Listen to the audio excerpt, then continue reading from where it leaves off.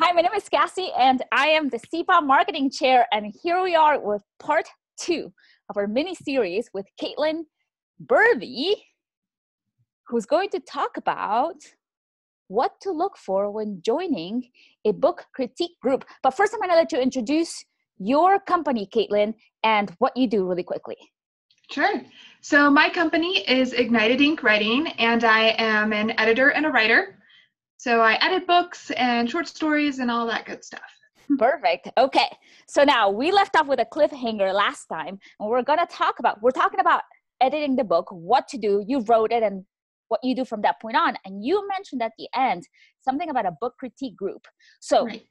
what's the timing? Mm-hmm. How do we find one? And should we use one? Yeah. So, I recommend everyone at least try a critique group. I think they're amazing because it's basically writers helping writers get better. And a good critique group is for you is one that meets with so they meet in a way that works with your schedule. This could be monthly, it could be weekly. It needs to meet in a place that's close to you, or it can be online and at times that work with your schedule. So that's the first thing you need to find in your critique group. The next thing you want to look for are people who give constructive feedback. So, the difference between just feedback and constructive is with constructive, they're not just telling you what's wrong, but how to fix it. Okay. So, if you have a character who maybe needs more internal thoughts happening in a scene, they'll suggest places you can do that. Whereas someone who's just giving feedback will say this needs more internal thoughts. And that's not as helpful as saying, well, you could put them here and here and here. Okay, so book critique groups from writer to writer, how do you let go? Again, that letting go. How do you trust people with your baby? And yeah, how do you, how do you take that feedback? And should you always take that feedback? So you don't always take it. A good thing to do is to go to people who you respect as writers and try and join their critique group because that right off the bat is going to make it easier to take their feedback.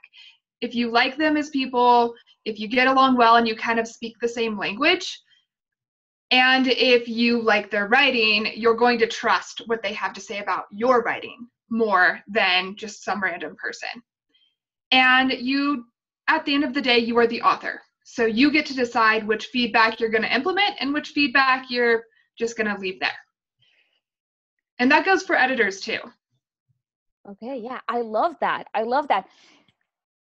We became authors because we wanted to put something out there. And so we don't right. want that power taken away in a way. So having someone telling us it's it's great to know that you can collaborate with other writers, but you don't have to take their feedback but right. if you trust them, that makes it a little easier. I like what you said.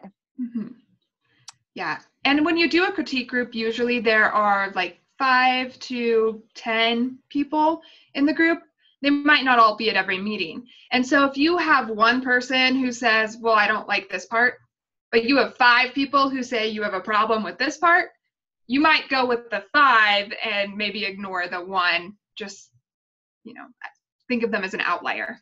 Yeah, definitely. If somebody's telling you there's a certain part that needs working over and over again, you might want to listen to that. Right. Mm-hmm. Okay, I love it. Okay, so location, finding them closest to you. Is there a specific place where you recommend people find these book critique groups? There are. There are a couple. So, one is if you take writing classes of any sort, if you go to a conference, if you're taking an online class, if you're doing a seminar and you're looking for a group, mention that. Ask, say, does anyone have a critique group that's accepting new members? Ooh. I like looking there because often you get the chance to read other people's writing in those classes. Okay. So you might ask the people who you think match your style of writing or who you liked, you know, because you're gonna be working intimately with them. So it's good to pick those people. Okay, perfect. And then writers organizations are a good place. You might ask CIPA, you know, hey, yeah does anyone have a critique group that's accepting new members? So that's another good place to look.